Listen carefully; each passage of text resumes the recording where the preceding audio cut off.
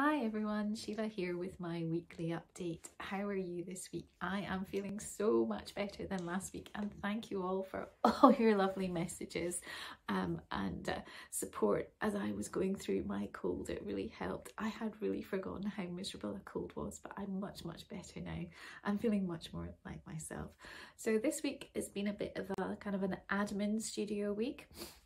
Um, I've been sent, um, developing and I sent out my uh, newsletter earlier in the week so I hope you got that. If you're not signed up for my newsletter and obviously you wouldn't have got it if you're not then why not?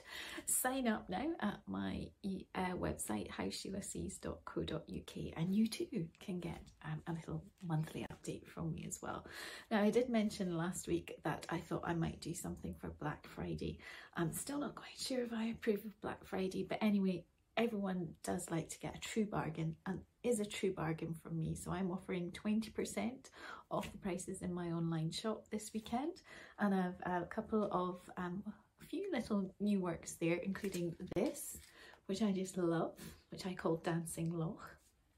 Um, and this one, which um, again I quite like. This is more kind of autumnal, but these are really lovely size. They're 20 by 20 centimetres. Um, and uh, yeah, really fit nicely in a little corner of a room somewhere. So, um, you know, maybe if you're thinking of a Christmas present for someone, or maybe just warming up to buying Christmas presents for other people by buying yourself something, then do get in touch. Um, and if you're not my e mailing list and you do want the code, then just find me on Instagram, send me a wee message and I will send you the code. So that's really what I've been doing this week. Very excited also to hear that the collaboration project for New Platform Art has got green light.